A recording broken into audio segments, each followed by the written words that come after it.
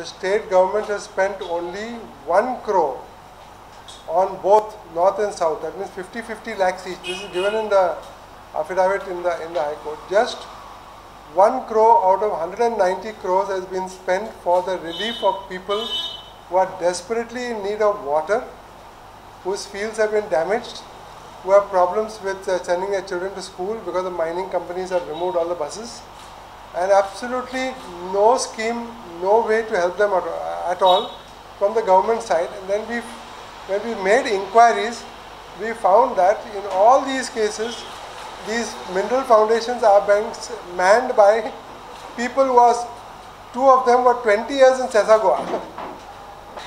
we couldn't examine that the priorities of the government are to acquire lands from Subhash Shirodkar, give him 70 crores. No doubt proceeding has begun in 2012.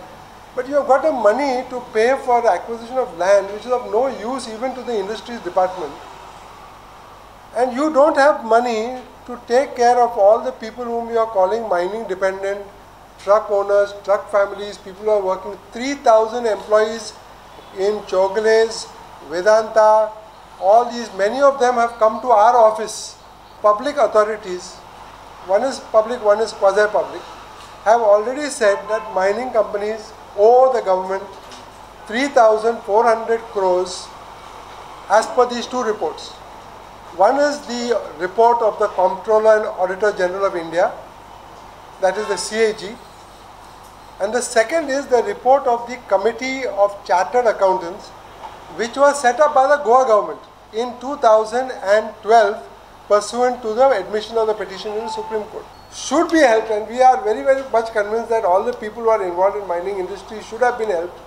Till today, there is no help forthcoming for them because as far as mining is concerned and looking after the mining affected people are concerned and mining dependent people are concerned, the response of the Goa government has been practically a zero.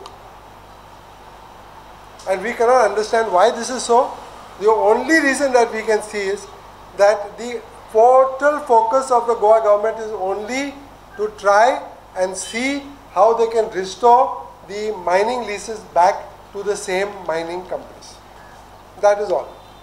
When, when a question was asked in the Goa assembly about the workers affected by mining, Chowgules, Vedanta, etc., reply of Chief Minister Manohar Parrikar, if you want I will give it to you, was that this is not our problem.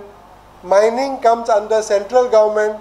It is a mining is MMDR Act, a central law, and therefore the state government is not involved. There is no way, at least Mr. Gowde has been honest enough to say it can only start next year. And mines department officials have been honest to, to say that it will start after two years.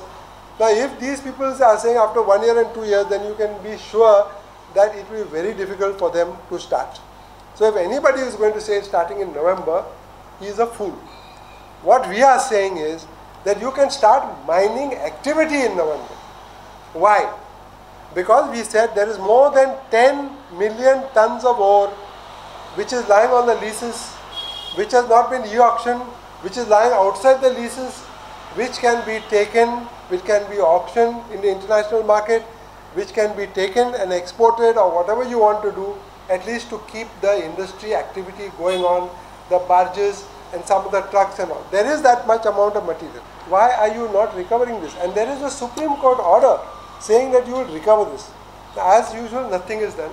So our normal recourse is we will go back to the High Court.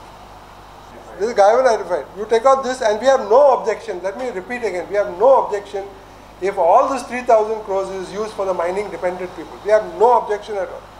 Pay them their salaries for two years, three years, but we are saying use this time to do a good job, to restart mining. Video journalist Sanjay Manoli from Panjim for HCN.